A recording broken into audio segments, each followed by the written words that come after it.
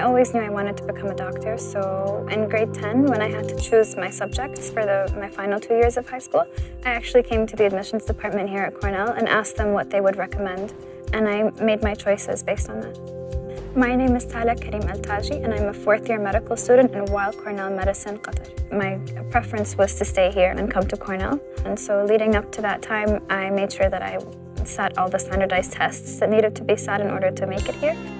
One of the things that we ask for in every application is for a personal statement by the applicant to show why they're interested in the field of medicine and why they want to do it here at Weill Cornell, Qatar. We use a very holistic approach to selecting our best candidates. My name is Farhan Aziz. I work as the Director of Admissions at Weill Cornell Medicine in Qatar.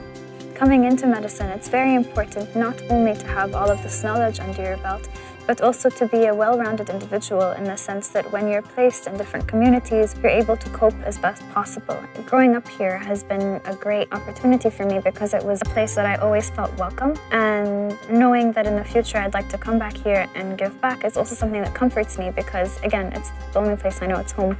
After I graduate, I plan to pursue a residency in pediatric. That is my intention and that's where I, that's what I see myself doing in the next upcoming few years.